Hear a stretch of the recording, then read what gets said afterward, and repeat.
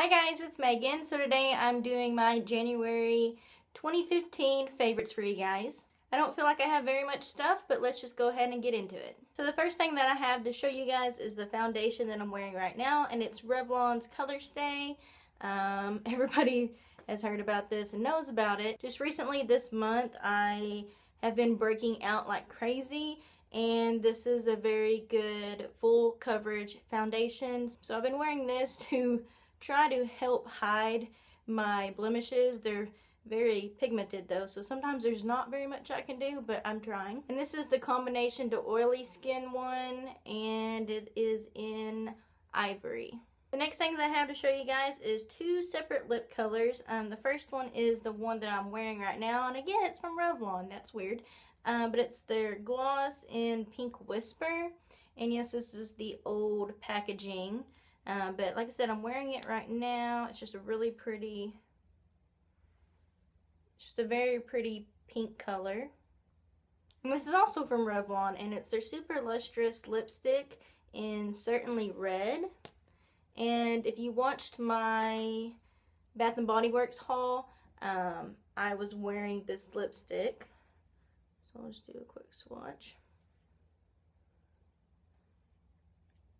I really, really love this lipstick. It's a really pretty red. The next thing I have to show you guys is an eyeliner, and I've wore this all month. I did not pick up another one besides this one, and it's the Maybelline Master Precise by Eye Studio, the one that looks like a that. You can get the finest line ever on this. It's just, it's really great. It's very black and it's really great for just putting it really close to the lash line because it's just so precise. I really recommend this for people that have hooded eyes like I do because it just makes it very easy to get right to the lash line without like covering my eyelid shade. This next thing I've also wore the entire month of January. The only eyeshadow that I've worn, and I've used it in different ways, but it's the Natural Smokes Eyeshadow Quad. It looks like this. So today I'm wearing the lid shade on my eyelid and then I'm wearing the crease and also the brow bone color. But just depending on what look I'm going for, sometimes I wear it, you know, just as it says this to do or I just kind of switch it up and do whatever I want with it. And then lastly for makeup products, um, I've been using this BH Cosmetics 10 color blush palette basically all month as well. Um, it has beautiful, beautiful colors, very pigmented, very soft and smooth, smooth, smooth. And today I'm wearing this color right here. I really love this. There's a whole bunch of different colors. And I got this from HauteLook, so, or HauteLook, whatever you want to call it. So they're on there pretty often if you want to look into BH Cosmetics or obviously they have their own website as well. So now I move on to some random favorites and my first random favorite I just had to get off my foot because it is these slippers. Um, I got these from Target like a couple months ago but I live in these. I'm not even joking. I Unless I go somewhere obviously but um, there has been times where I went to uh, the cancer treatment center and just worn my house shoes because they're just so comfortable. And they have the cute little fuzzy fuzzies. Um, but they have started to like wear out because I wear them so much. But they're just, they're amazing. They're gray, which is the color for brain cancer, so that's even better. This next thing um, is from Target, and it was like $5, I think. And it's just this little speaker.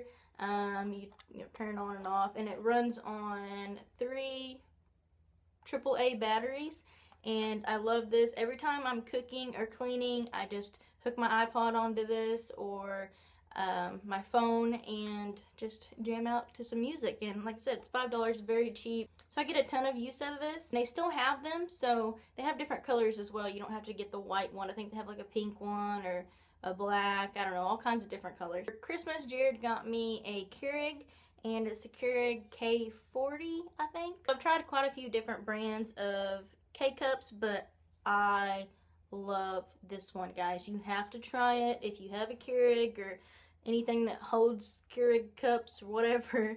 It's the Gloria Jean's coffees, and this is the macadamia cookie. Guys, oh my gosh, this is like heaven in a cup hands down my favorite flavor that I've tried. I've tried also brown sugar cake and the cinnamon roll one, but this one is so good. Like I'm gonna have this always. Like I, I can't be without this. And then my last favorite is nothing that I can show you because it's on Netflix. I finished this back in December, but I didn't do a favorites video then, so I haven't been able to talk to you guys about it, but it is One Tree Hill. I love One Tree Hill. I love I have like a major girl crush on Sophia Bush.